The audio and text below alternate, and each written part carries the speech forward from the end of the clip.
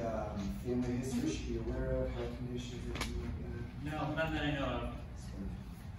And any allergies? No, just pollen in the spring. Same. Sometimes I think my nose runs more than I do. and are you sexually active? Yeah, Thanks, I guess. And when you're having this sex, how exactly is it about it? Just sort of. No, I have normal sex. Don't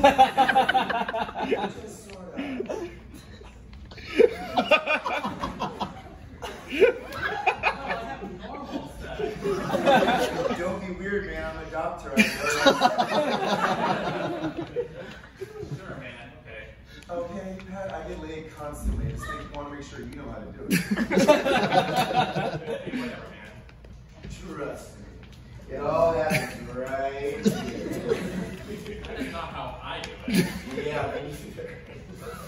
What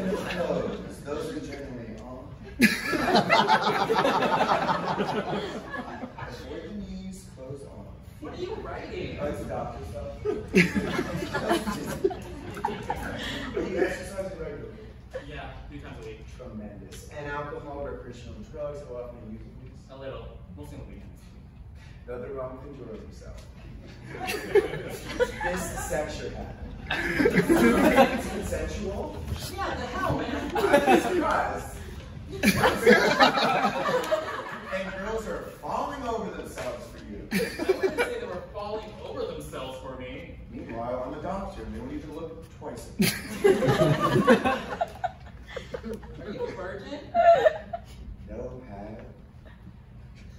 It's okay if you are, but you should know how this works, at least anatomically.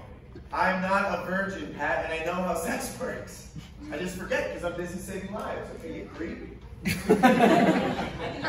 No, seriously, stop. It's been a stressful week. I have a few more questions. No, really. It's about your exam. Okay. Okay. Nothing sex related. So this section. How long does it last? Is it an hour? Two? Four? Is it too long? Should I take off work?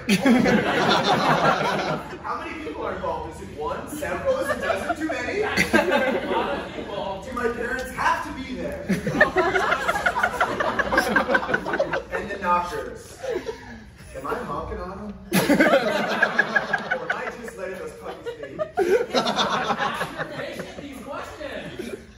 Who can I ask? I don't know the other doctors. They all hate me.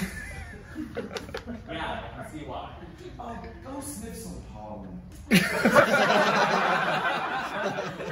not a virgin. I really am the worst fucking dentist.